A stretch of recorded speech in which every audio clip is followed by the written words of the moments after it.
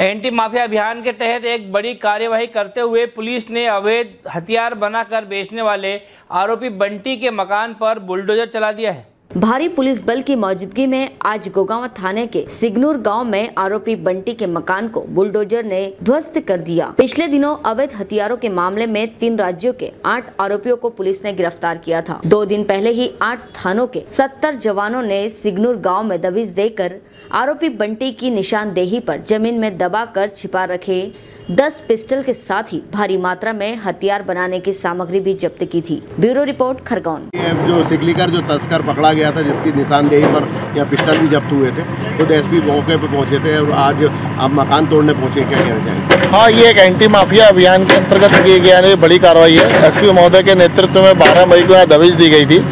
इसमें बट्टी सिगलीकर और उससे जुड़े और लोगों का एक पूरा ग्रह रैकेट पकड़ा गया था इसमें एस साहब पुलिस बल अमला पूरा था। उसकी निशानदेही पे बहुत सारी चीज़ आइडेंटिफाई हुई और बहुत कुछ चीज़ें अभी सस्पेक्टेड हैं और वो कार्रवाई चल रही है। और जब इसकी पूरी पहचान हो गई है तो इसके माध्यम से एसपी साहब ने फिर कट साहब से बात कर और देखा गया कि काफ़ी बड़ी कार्रवाई है अन्य स्टेशनों से जुड़ी है तो ऐसी एंटी माफिया कार्रवाई के अंतर्गत फिर हमने ये कार्रवाई आज प्रारंभ करी है। जिस जगह पर वो निर्माण करता था सामान रखता था या विभिन्न गतिविधियाँ करती थी उसके अंतर्गत इसका काफ़ी बड़ा परिसर था उसको हम अभी तोड़ने की कार्रवाई जारी है। ये काफ़ी प्रसिद्ध है हथियार कहीं ना कहीं कसने का काम हाँ क्यों नहीं एक राज्य सरकार की बहुत बड़ी कार्रवाई है एसपी साहब के नेतृत्व में और पी साहब के मार्गदर्शन में कि इसमें ये मुख्य उद्देश्य थे कि ऐसी कोई भी कार्रवाई जो अवैध हथियार अवैध गतिविधि की इस राज्य में नहीं चलेगी। शांति का द्वीप है यहाँ पर शांतिपूर्वक कार्य किया जाएगा।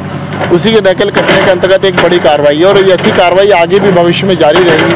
अगर हमें कोई व्यक्ति ऐसा मिलता है जो ऐसी संदिग्ध गतिविधि या सेंसिटिव गतिविधियों में संलग्न पाया जाता है, उसके विरुद्ध ऐसे ही कठोरतम कार्रवाई की जाएगी। ये समाज को मैसेज है।